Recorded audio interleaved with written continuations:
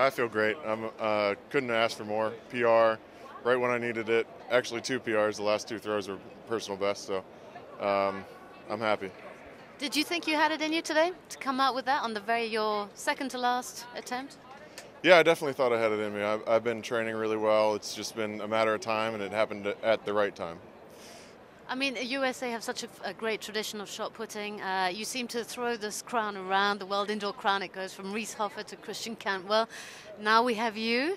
Uh, do you count on making a big impression this year? I definitely do. I think I started off on the right foot with that. Uh, I mean, Christian barely missed the team by seven centimeters, and that's the difference between me winning and me staying home. So going into the trials, it's going to be difficult, but I think this helps. Of course, such an important year. It's an Olympic year. What will you be doing next, uh, preparing for the outdoor season? I'll probably take a, about a week off, just kind of recover and uh, get mentally ready for the outdoor season. Where can we hope to see you? Uh, I think Shanghai will be my first one. And then after that, other Diamond Leagues? Have you yeah. sorted which out you're going to see as you go along? Uh, just other Diamond Leagues. As my training progresses, I'll kind of pick and choose.